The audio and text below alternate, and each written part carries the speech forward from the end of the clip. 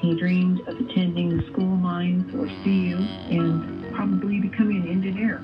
Plus, the Columbine community reshaping April 20th. To bring all these people together and do some good is, is what it's all about.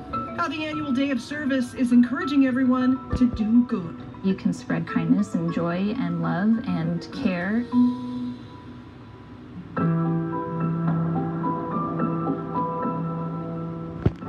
Today, it's been 25 years. We pause to remember the 12 students and one teacher killed at Columbine High School on April 20th, 1999.